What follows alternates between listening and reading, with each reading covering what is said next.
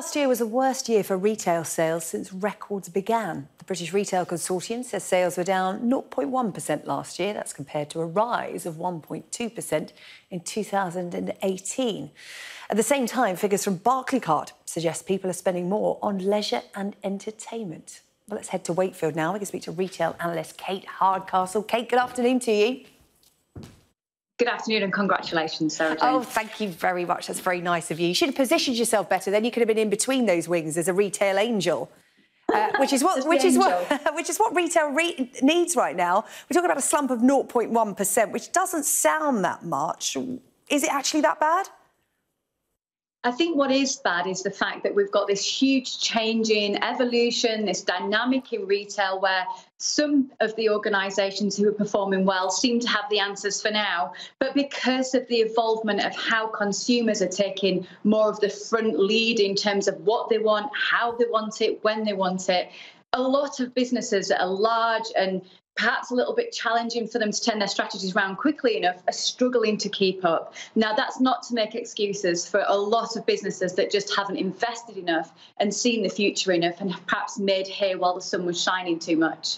It's interesting, this week there's been two tales from the high street, if you like. You've got the likes of John Lewis struggling a little bit to the point where it seems that staff may not get their bonuses. Uh, that's not been confirmed. Then at the other end of the spectrum, you've got Greggs, uh, the high street bakers, which off the back of that vegan sausage roll are going to roll out £7 million worth of bonuses to their uh, employees. It equates to about three hundred pounds an employee, but certainly nothing to uh, to be sniffed That's at. That's a lot of vegan sausage rolls.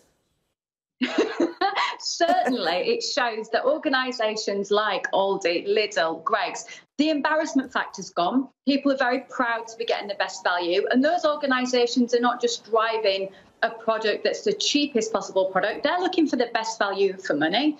Uh, Greggs have got a strategy where they're trying to be in the pick up food places, service stations, train stations, as well as the high streets. They've changed the business, evolved it. They've looked into vegetarian and vegan options. These things aren't as simple as they seem. There's a lot of infrastructure built into that. If you compare that to someone like John Lewis, very traditional business. It's had very good years. It's almost been the bellwether of retail, but it's got two very conflicting strategies. It's trying to be a department store that's a nice experience, trying to invest in its own brand. And then it's got this never knowingly undersold offer, which basically means that whilst the rest of retail's on a kind of drive to the bottom in terms of discounting, they've got to price match on all of those big label, big ticket item goods. Very challenging times for them. And you can look at them and say, well, that's just a change in face of retail. Or you can say, look, there's so much data out there, almost a data overload. Should the organisation's leaders who are paid the big bucks to do it, should they, Sarah Jane, have actually seen the way and built a business robust enough for that?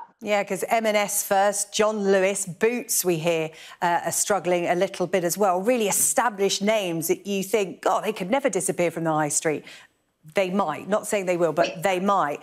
Um, and just in terms of the overall picture, I hate to mention the B word. Uh, we've mentioned it once on the show today Brexit. There's a, a bill being voted for as we speak. Um, but how much did that play a part, do you think, on um, consumers' psychology in terms of tightening the purse strings? Do you see? Do you think there'll be more spending in 2020?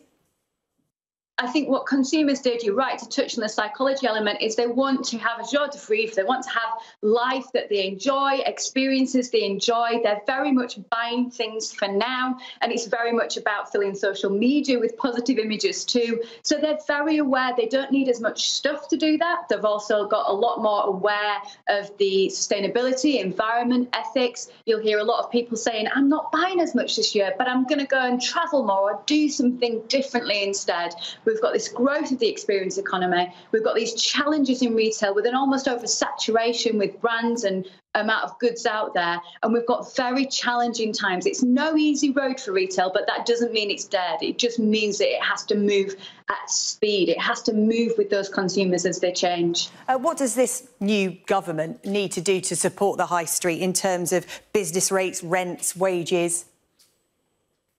Simply put, I'd like to ask them to use two ears and one mouth in that order.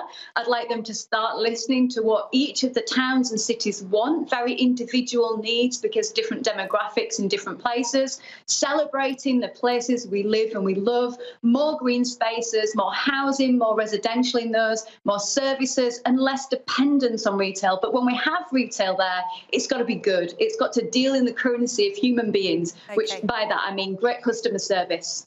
Kate Hardcastle, always good to talk to you. Thank you for joining us here on Sky News.